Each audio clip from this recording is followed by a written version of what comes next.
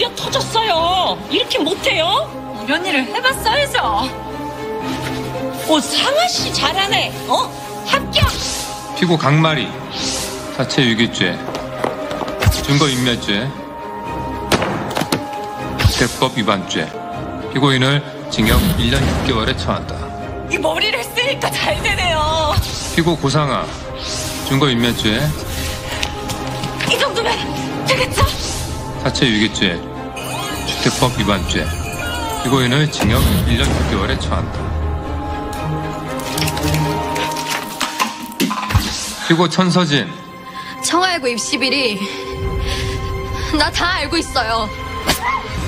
미성년자 약취 유인죄, 방금죄, 증거인멸죄, 사체 유기죄, 민사라 가방이에요. 노트에 유서 적어놨어요. 같이 세트해줘요. 피고인을 징역 7년에 처한다.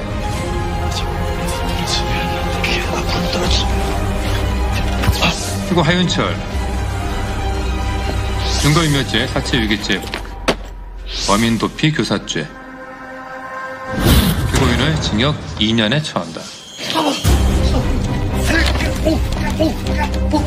아, 피고 이규진, 아, 좀.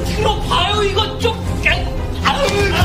증거인멸죄, 사체유기죄, 주거침입죄, 세법 위반죄, 피고인을 징역 2년에 처한다. 나도 심신미하게 자기 반성했다고요. 피고 주단태, 주택법 위반죄, 부동산 등기 특별조치법 위반죄, 뇌물 공여죄, 미성년자 약취 유인죄, 방금죄, 사체유기죄, 사체 손괴죄, 주거침입죄, 증거인멸죄, 현주 건조물 방화죄, 살인 미수죄, 살인죄, 피고인을 무기징역에 처한다.